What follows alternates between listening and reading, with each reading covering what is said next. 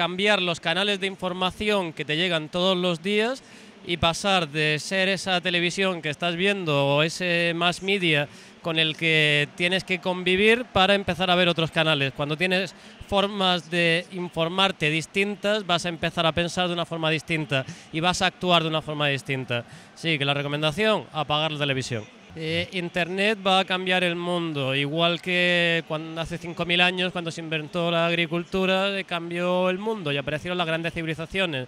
Cuando apareció la imprenta, se volvió a cambiar el mundo. La Revolución Francesa no se puede entender sin la imprenta.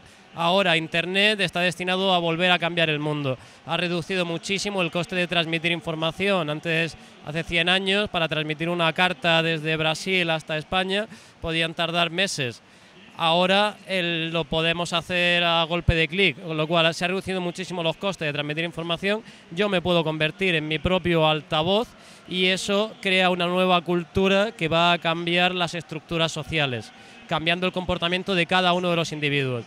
El futuro lo veo, a corto plazo lo que tenemos que seguir es consolidando los canales más gente que se vaya uniendo, eh, buscar mejores formas de organizarnos. Una vez que las estemos encontrando, ya que estamos organizados internacionalmente, podremos tener el eh, utilizar las mejores formas de organización para transmitirla desde un lugar a otro.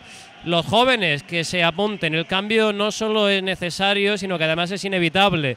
Lo que conocemos las personas de 30 años, pensamos que el mundo siempre ha sido así Preguntarle a vuestros padres, a vuestros abuelos, si tenéis a los bisabuelos, y veréis cómo el mundo ha ido cambiando y evolucionando. Vamos a ayudar entre todos a que esa evolución se consolide y las cosas que mejor funcionen en un país que puedan ser copiables y adaptables en el siguiente.